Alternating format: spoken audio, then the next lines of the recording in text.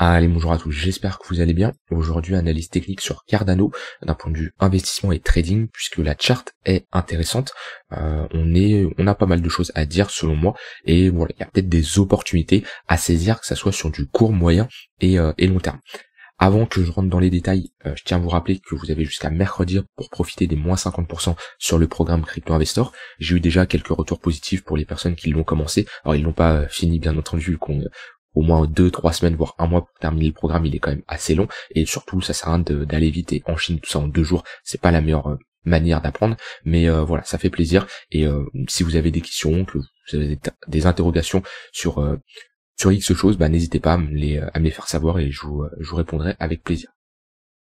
Alors, sur Cardano, pourquoi c'est intéressant? On est revenu ici chercher un support très intéressant. Ok, on est sur un gros niveau, d'accord? On est sur notre précédent creux et bah, ce creux il doit être maintenu. Ok, c'est un creux qui doit absolument être maintenu parce que ici on voit qu'on essaye de, de, potentiellement poser un bottom. On avait ici structuré un W, ok, creux sommet creux sommet plus haut que le précédent, qui nous montrait comme quoi la dynamique était haussière et on était dans une zone où la demande était supérieure à l'offre.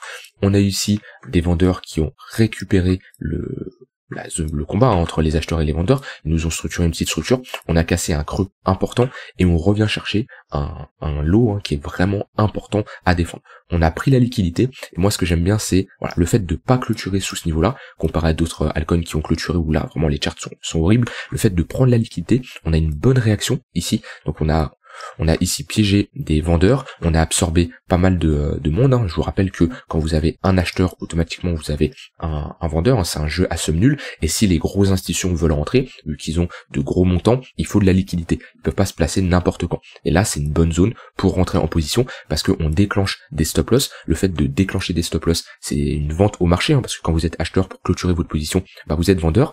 Et comme c'est un jeu à somme nulle, comme je l'ai dit, une vente est égale à un achat, qu'on prend des stop loss, c'est une bonne opportunité pour les grosses institutions de rentrer ici. Donc on a une bonne réaction et ça peut être un second creux, d'accord, dans cette euh, dans ce potentiel bottom. le bottom sera validé si vraiment on a une cassure de ce niveau-là, on validerait ici une grosse structure, ok. Maintenant, euh, pour moi c'est un peu tard de, de se positionner. Moi, ce que je regarde, c'est que ici, on a une on a une bonne confluence, on a rejeté, ok, voilà, une zone qui faisait office de, support, on l'a cassé, euh, toujours office de support, et euh, ici euh, office de résistance. On a une bonne confluence, et avec notre tunnel 4 heures, pour moi ici là, une clôture au-dessus de ce, de ce niveau-là, on réintégrait euh, ce, ce, range qui est ici, ok? Donc euh, là on était globalement bloqué entre entre deux bornes avec une déviation à, la hausse. On réintègre, on casse notre tunnel 4 heures. Il peut y avoir une opportunité pour se pour se positionner, d'accord? Moi c'est le scénario que que j'ai en tête et que j'aimerais pour rentrer en position. Pour le moment, je ne sais pas si on va faire ça et actuellement on est bloqué entre deux bornes. Donc Là, c'est bien de faire de la stratégie de range, ok, chercher à long le, le bas de range et à short le haut de range. Ici, on est sur résistance. Tant que cette zone n'est pas cassée, on est sur résistance, donc vaut mieux chercher à short le marché. Ici, il y avait des opportunités de short. Hein. On avait une bonne confluence, résistance, tunnel 4 heures, la dynamique était baissière en 4 heures, euh, 4 heures daily, donc vaut mieux jouer dans le sens de cette tendance. On avait pris la liquidité, et on voyait qu'ici on commençait à restructurer des M, d'accord, une épaule tête épaule. Voilà, ici on avait une sorte de pattern de, de distribution. Donc tant que ce niveau-là est cassé, ne cherchez pas à anticiper, d'accord. C'est pas parce que je vous ai dit que on va, enfin, je vous ai pas dit qu'on allait faire ça. Je vous ai dit que moi c'est ce que j'aimerais voir pour rentrer en position. Je ne sais pas si on va faire ça, je n'ai pas de boule de cristal, mon but c'est pas de, prédire où va le marché. Par contre, comme j'ai dit, si on a une cassure de ce niveau-là, et eh ben se positionner sur le pullback, ici, qui est censé euh, faire office de, support, hein, parce que quand on casse une résistance, ça devient un support, et eh ben ça sera une très bonne zone de localisation, une bonne zone d'intervention pour chercher à se positionner. Et on peut mettre un stop loss sous, euh, ce précédent creux ici, hein, parce que si vraiment ici on pose un bottom, un W, ok, là, tac, ces creux-là doivent être maintenus, d'accord? Parce que ça veut dire que des grosses institutions sont rentrées et ils maintiennent leur ordre d'achat en positif. C'est le but d'une tendance haussière, les creux sont de plus en plus hauts. Donc une zone d'invalidation, toujours, hein, quand vous rentrez en position, vous déterminez une zone de prise de profit et une zone d'invalidation, c'est obligatoire, hein, sinon on ne peut pas hold une crypto-monnaie qui fait des creux et des sommets de plus en plus bas, et voilà, on peut pas hold de ça. Surtout ici, on est, on est plutôt sur du swing trading, euh, voilà, on peut, c'est une position qu'on peut garder plusieurs semaines, plusieurs mois, mais on n'est pas sur de l'investissement. Quand je regarde en 4 heures daily, on n'est pas sur l'investissement pour euh, pour des mois ou des années, d'accord? Donc voilà, moi c'est le, scénario que, j'ai en tête, mais pour le moment, ça sert de euh, chercher à anticiper la validation, la validation de scénario. Pour le moment, on est dans un range, et tant qu'on n'a pas une cassure, et eh ben on peut ranger, aller rechercher la borne basse, et ça se trouve on aura une cassure à la baisse. Hein. Ça, je peux pas le prévoir. Par contre, si on a une cassure à la hausse, pour moi, il y a une opportunité à saisir, parce qu'on aura une confirmation, comme on réintègre ce range-là, on casse notre tunnel 4 euh, heures, et bah, les moyennes mobiles seront orientés à la hausse sur du court terme. On aura toujours le tunnel daily qui fera office de résistance, mais pour moi, comme je dis, il y aura une opportunité de se euh, positionner. Donc voilà, c'est selon moi mon point de vue. C'est, je sais pas si ce scénario va se réaliser, mais je le surveillerai. Euh, à l'heure actuelle, pour moi, c'est compliqué hein, sur du court terme de se positionner. On a instauré une petite tendance haussière sur du 15 minutes 1 heure. On voit ici, on fait des creux de plus en plus haut. Le tunnel 15 minutes qui cross le tunnel 1 heure. Donc voilà, là, c'est plutôt pour un profil type euh, scalping intraday, d'accord? Mais euh, pour le moment, la tendance est haussière, mais attention, on revient chercher notre haut range. Ici, on a une grosse zone de distribution. On voit qu'on est venu à chaque fois rechercher cette zone-là, et ben on, a eu de, de forts rejets, d'accord? Donc ici, on a vraiment fait une, une pattern de distribution, et ça m'étonnerait pas ici de, euh, bah, de galérer quand même à passer cette zone-là. Après, on a quand même créé pas mal de liquidités. Ici, il y a des stop loss, ici, il y a des stop loss, et ici, il y a des stop loss. Alors que les stop loss longues, on est venu, on est venu les chercher ici, mais on, a, on en a créé également on voit qu'on est dans une sorte de, compression ici sur du court moyen terme. Donc euh, moi ici j'attendrai hein, personnellement qu'on ait une cassure que ça soit à la hausse ou, euh, ou à la baisse. Donc ça c'était vraiment le plan qui était possible dans les prochains jours, prochaines semaines que je surveillerai moi personnellement de mon côté. Après c'est pas parce que moi je cherche à faire ça que vous devez faire pareil. Ça se trouve on n'a pas le même style de trading, on n'a pas la même façon d'agir. Chaque personne est différente. Mais moi en tout cas c'est ce que je chercherai à surveiller dans les euh, dans les prochains jours, prochaines semaines en fonction de l'évolution du marché. Et puis ça se trouve, hein, cette opportunité, je pourrais pas la saisir parce que euh, le scénario que j'avais en tête ne s'est pas réalisé et euh, je pourrais prendre d'autres trades sur d'autres projets. Hein. Il, y a, il, y a, plein de crypto-monnaies, je me concentre pas bien sûr que sur Cardano. Et maintenant, comme je l'ai dit, sur l'investissement, on est euh, on est quand même sur une bonne zone. On est sur un gros support, mais attention, cherchez à se positionner ici. Comme je dis en général, si vous pensez au fondamental, si vous pensez que le projet est excellent et c'est une crypto-monnaie que vous voulez détenir dans vos toilettes long terme, on est sur une bonne zone de prix. Maintenant, prenez en compte que si ce prix casse, la prochaine zone, elle est là. La prochaine zone de support est ici. Parce que là, on a quand même un déséquilibre de marché. Voilà, on voit qu'il y, a très peu de volume. Hop, si je mets, on va mettre un volume profile de d'ici à ici. Voilà, on voit ça, c'est un déséquilibre de marché. Donc, le prix consolide sur ce précédent lot. S'il casse, la prochaine zone, c'est cette zone du volume profile. D'accord? Donc, ça peut nous faire quand même une baisse assez rapide de 30-40%. Euh, ok, alors j'ai pris le bas ici, si je prends à l'heure actuelle, une baisse de moins 50%.